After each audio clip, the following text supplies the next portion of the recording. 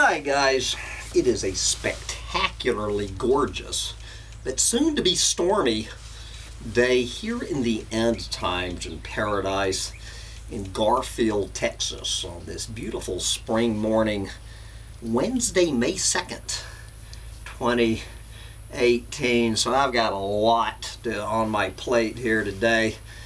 Uh, mainly my climate change meltdown roundup rant. Uh, but before I get into all of that, I just want to share today's quote of the day. Today's quote of the day, which I am uh, I am borrowing from one of, uh, shall we say, my sister channels uh, down here in the Doomosphere. Uh, well, I thought my sister channel uh, was down in the Doomosphere, but I, I don't know after this comment. Now, uh, I, I don't I, I won't name the name of the channel, uh, and unless the the channel person wants to uh, come on here and and take credit for this, but this person I will call this person CE. CE was uh, reading a letter uh, from a from a a listener to CE's YouTube channel. Uh, and this quote appeared, it was an anonymous letter, so I, I don't have any idea uh, who the person was who, uh, who wrote this letter. Uh, but anyway, I was I, I, had a rough day yesterday, so it was midnight last night, uh, and, and, and, I was long overdue for a sick, twisted, ironic laugh, and I sure as hell got one. With uh, I, I cannot imagine why uh, this anonymous letter writer did not send this letter to me. I, am going to take a wild guess uh, that the anonymous, yes, little dog, the anonymous letter writer was uh, probably not in the tribe. I was alluded to in the letter. I was alluded to. I'm pretty sure I or anyone else with a brain uh, was alluded to. But anyway, here is the quote of the day perhaps the quote of the year, and this was May 1st, not April 1st. quote, it is a mistake, it is a mistake to assume that the net impact of humanity on the biosphere is destructive. Bullshit. That's horseshit. Uh, one, one, more, one more time, because uh, I, I realized that you just fell to the floor and uh, you might have had a it's temporary amnesia. We're going to repeat this quote one more time that you can find on one of my uh, fellow uh, Doomers channels. One more time. quote, it is a mistake to assume that the net impact of humanity on the biosphere is destructive. And I and, and I want to point out that I noticed at least two of my own lieutenants. Now the, the, the person whose video this is is one of my lieutenants, and two more of my very own tribes member lieutenants commented on this video. Just these very nice comments. After hearing that quote, well, here is Hambone Littletail's comment on that quote. Ah! Ah! Have you lost your fucking clueless fucking mind? Yes, little dog. I'm sorry about that. What the fuck was that supposed to mean? The net, it is a mistake to assume that the net impact of humanity is.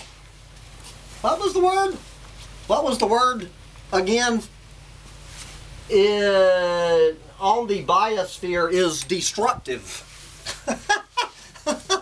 oh my god, what in the fuck have I been doing with my life for the past eight fucking years? Let's see, what do we got? We are now in a new geologic age. The age of the Anthropocene, otherwise known as the fucking moron, the clueless fucking moronocene. We are in a new geological age because of our uh, the the destruction that we have wrought uh, on this planet. We're two fucking minutes from doomsday, people. We're in the middle of the sixth fucking mass extinction on this planet. We have, what is it? Do, do we have like 20,000 scientists uh, sending out a the second uh, letter of warning to humanity that we are so fucked?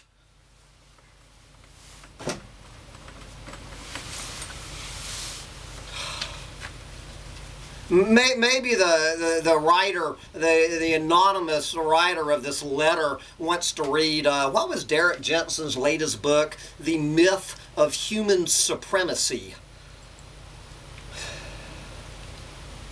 Jesus fucking Christ. Yes, little dog. I'm upsetting the dog. I'm upsetting the fucking dog. You know, guys, I, I don't know how many uh, how many of you watched my uh, my, my, videos yesterday uh, about my uh, little little misadventures in the home improvement department, where I came goddamn close to electrocuting myself and burning my fucking house down. Uh, you know, blowing up my air conditioner. Uh, this, this for anyone who is unaware of it. I am completely aware of this fact that you're all eco-Nazi. In one day yesterday, in one fucking day yesterday, one clueless fucking moron eco-Nazi through his own consumer and lifestyle choices, the, the, the net impact of, uh, of, of one clueless fucking moron eco-Nazis uh, consumer and lifestyle choices on this planet. One day in the life of an eco-Nazi, I have had more of a, uh, why can't I remember the fucking word? Destructive. I have had in one day yesterday, and and and uh, every motherfucker on the planet could say the same thing. Uh, a, a, goddamn uh, little twelve-year-old Hindu boy uh, sitting on the floor of a fucking real mud hut uh, in, in Pakistan could make the same claim. I have had more uh, net destructive impact on this planet in one fucking day than you pick it, pretty much any species on this planet we share this fucking planet with. Okay? Uh, on the entire history of the species and compare one day in the life of an average human. Uh, to, to the destructive effect uh, of any one of our fellow earthlings on this planet. Jesus fucking Christ.